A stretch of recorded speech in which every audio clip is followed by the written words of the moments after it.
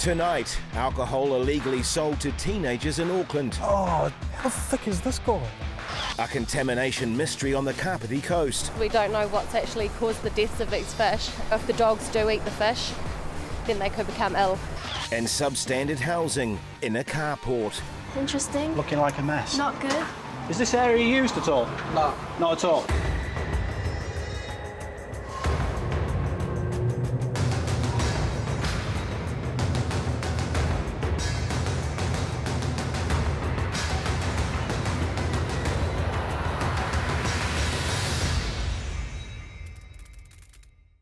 At the Greater Wellington Regional Council, Environmental Protection Officer Naomi Middleton has been alerted to a potential crisis on the Kapiti coast. We're just heading down Paraparaumu Beach and I got called out this afternoon by the Ministry of Fisheries who uh, spotted a lot of dead fish along the coastline here over about a 50 kilometre stretch. Unusually large numbers of dead fish have reportedly washed up along the coastline. Sometimes it's from fishing boats illegally dumping surplus fish, but that doesn't seem to be the case here. We're just heading off down the beach to see if we can see some of these fish that have washed up. Naomi's concerned the fish may have been poisoned. In similar cases around the country, fish contaminated with poison have caused the death of dogs and marine life such as penguins. Where all the birds are, that's a fairly good sign that there might be some fish floating around in the shallows. All right, let's go have a look. If contamination is the cause, then the public and animals using the beach could be in grave danger. They've had snapper and raised bream, and they reckon it's probably somewhere in the hundreds to thousands mark. We can't really rule out any possible cause at this stage. It could be an environmental contaminant, or um, we could be looking at a biotoxin. Biotoxins are poisons that originate naturally from plants or animals. It's common with algal blooms for biotoxins to get into the food chain. Concerns raised that seeing as we don't know what's actually caused the deaths of these fish, it might not be a good time for people to be fishing along this coast or, you know, if the dogs do eat the fish, then they could become ill if it has been a contaminant that's caused the deaths. If the fish have been poisoned, then there is a significant risk for anyone who catches a live contaminated fish and then eats it.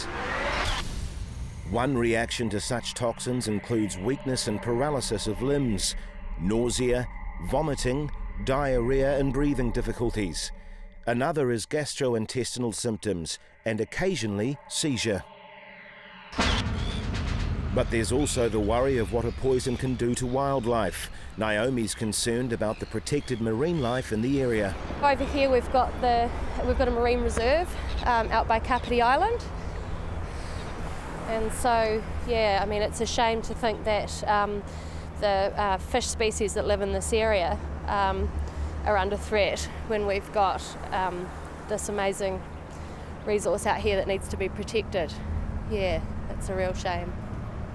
With New Zealand fishery stocks already under threat, it's a worry that the incident could have been the result of dumping from a trawler. The really sad thing about this is that our fisheries are already under a lot of pressure. A lot of our species are uh, under pressure from a lot of different uh, sources, and so this kind of um, needless waste just makes me really sad.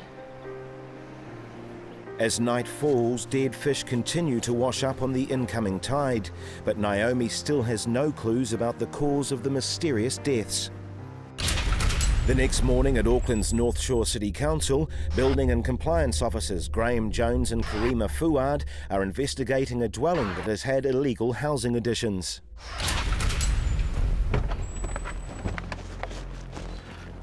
Okay, we're going to um, property in Glenfield now where we've been out to before. On a previous visit six months ago, a carport under a deck had been transformed into an additional dwelling, posing serious environmental and public risks. We've had a couple of issues with it. Originally, we had a complaint of people sleeping underneath the deck on the property. We went out before Christmas. There are mattresses stored there. The addition was an illegal build that wasn't safe for housing people, so the council insisted it be demolished and returned to the original plan. There was a kitchen underneath the deck, and there was also uh, a drain that obviously connected from the sink and just literally discharged, discharged down the drives. With the wastewater discharging straight into the driveway, it then drains into the stormwater system, and from there it can pollute waterways, potentially causing a lot of harm. pipe looks to have gone. Unless they've covered it up. No, it's still there. Tricky.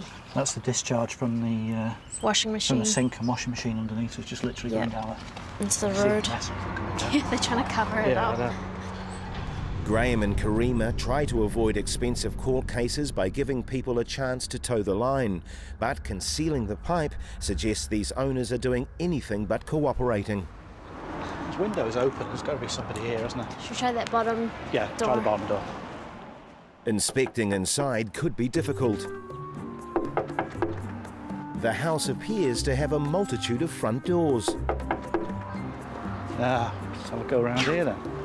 That's just back to where we were before.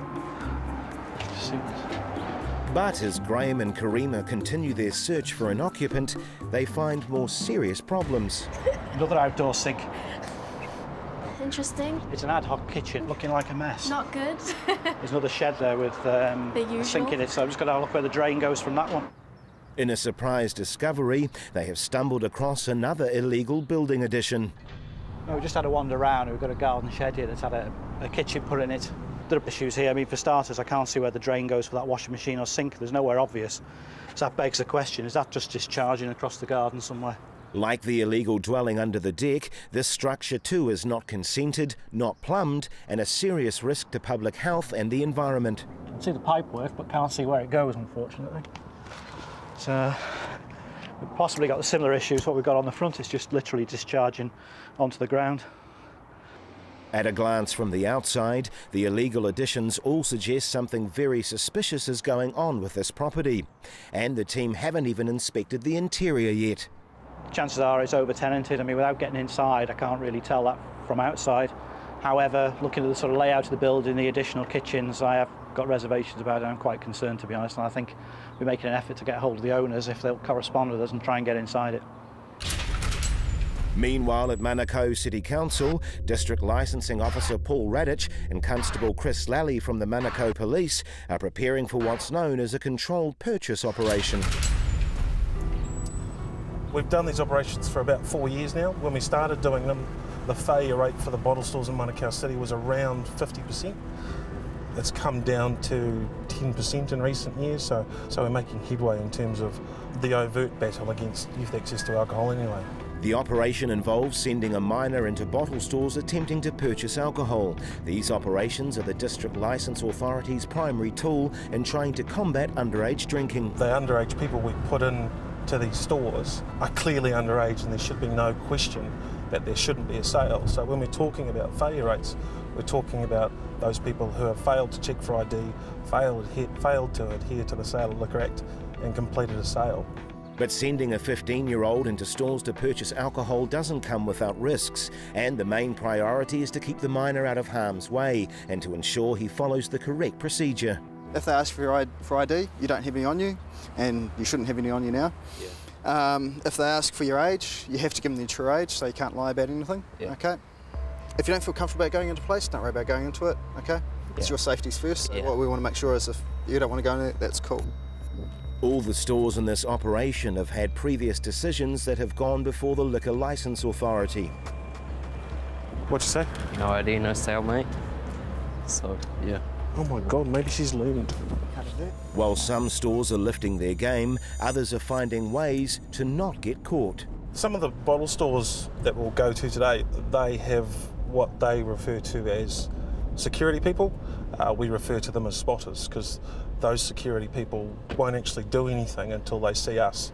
You'll see the security person as the young person approaches the store, they will look around to see if they can see us. And then, obviously, if we're spotted, they'll go in and make sure that the sale doesn't happen. So it's one of the common practices now to have spotters or security people outside. Again, the minor returns from the store empty handed. Oh, nearly. Guy came in from outside. Nah, but he was on the phone. And then, um, he did it all, and then he, then he got halfway through his conversation and looked at me kind of funny. Is that when, is that when he asked for ID? Yeah. Oh. It sounds like a spotter could have alerted the store owner, causing him to abort the sale. Yeah, well, it sounded like he was going to sell. It sounded, Sounded Yeah, very because much. I gave him the money and he took it. He and he scanned it as well, yeah, didn't and he? then, then He was talking on the phone, looked at me awful funny all of a sudden, and just said, "Oh, you got any ID?" And then I said, "Didn't have any." He went kind of pale. Oh, well, at least he didn't sell. It's a bonus. It's a bonus. On to another previous offender, but not a spotter in sight. For God's sake. Second time. Oh, how thick is this guy? On Auckland's North Shore, building and compliance officers Graham Jones and Karima Fuad are investigating a property where a carport had been illegally converted into an additional dwelling. There was a kitchen underneath the deck, and there was also uh, a drain that obviously connected from the sink and just literally dischar- discharged down the drives.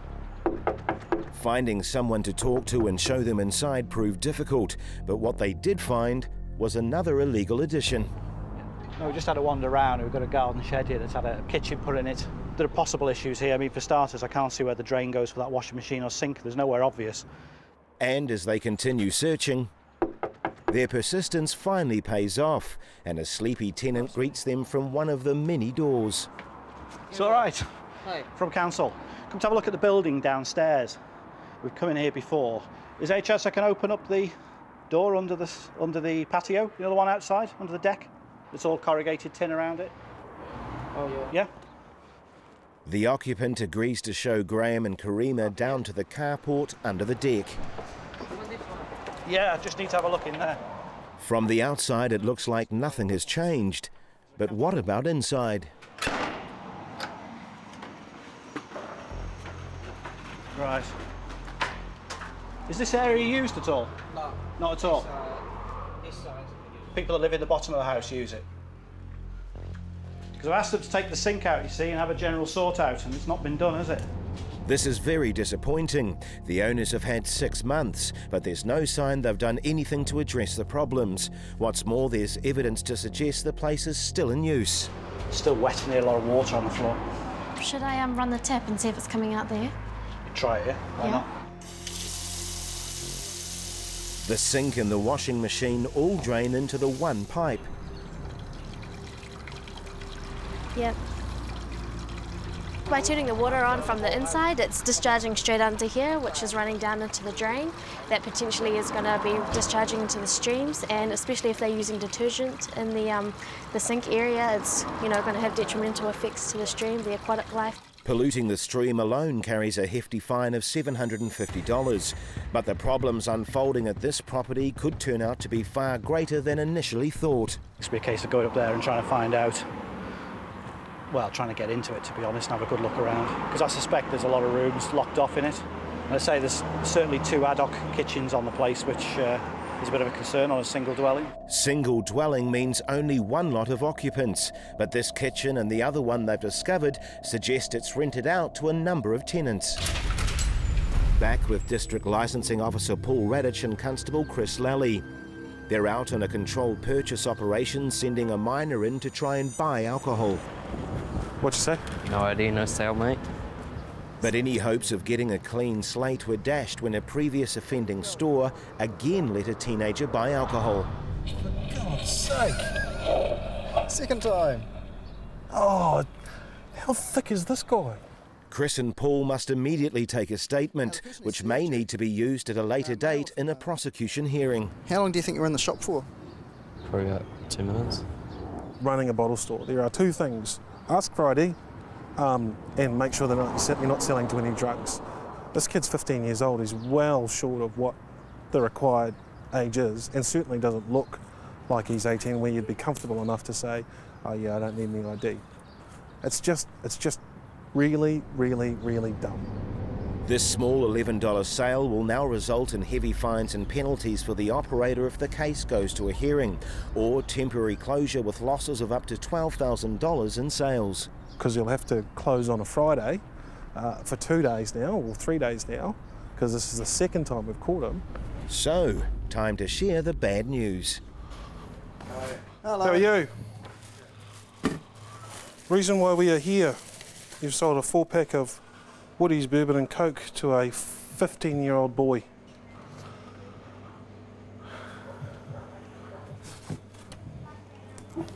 Do you remember the sale at all? No.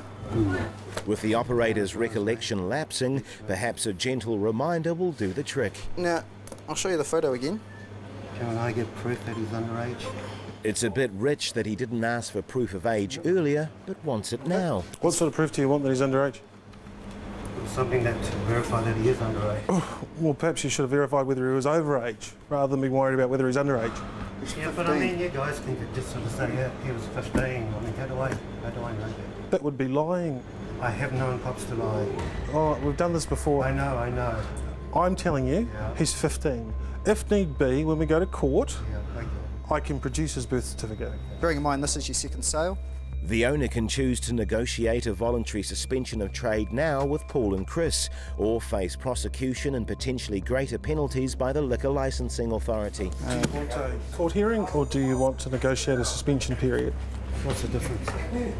Well, if you want the proof that he's not 18, then we'll go to court. Come back with an offer and I'll look at it. I, I will work. I don't offer. Chris and Paul depart. The operator now has a couple of days to decide whether to opt for voluntary suspension or go to a hearing. Very argumentative man. He got done um, less than a year ago, so it's um, this is a second sale. He wants proof that he was 15 years old rather than focusing on he should have been able to establish whether he was over 18 in the first place. You know, at the end of the day, he's made a mistake. Admittedly, that's a mistake that shouldn't have happened and under no circumstances should happen. But, you know, we've got to be fair about it and we've got to give him an opportunity to, to sort it out. The previous sale saw the operator penalised with a two day suspension of his licence and a one month suspension of his manager's certificate. Because this is a second offence, Paul and Chris are requesting more severe penalties a four day suspension of licence at an estimated loss of $15,000 in sales, and a three month suspension of his manager's certificate. Back with Environmental Protection Officer Naomi Middleton on the Kapiti coast. Massive numbers of dead fish have washed up along 50 kilometres of beach. We can't really rule out any possible cause at this stage. It could be an environmental contaminant or um, we could be looking at a biotoxin. 12 hours later, the new tide has washed even more dead fish ashore. Fearing that a dangerous toxin may be causing the deaths, samples are rushed to Biosecurity New Zealand laboratories. What we are looking for would be infectious causes of disease. The scientists are trying to untangle the mystery of the dead fish by finding a link to either man made contaminants, biotoxins, or some other unidentified cause. Pop a bacterial loop in there. So just take out the heart here. The tissues in every major organ are dissected and inspected. Swabs are taken to be cultured for possible bacterial infections, and tissue samples taken for closer examination. Take a little bit of gut just to make sure we don't have some kind of nasty gut disease going on. You can see it's got a little bit of nasty mucus-like stuff in there, so get a sample of that and have a look.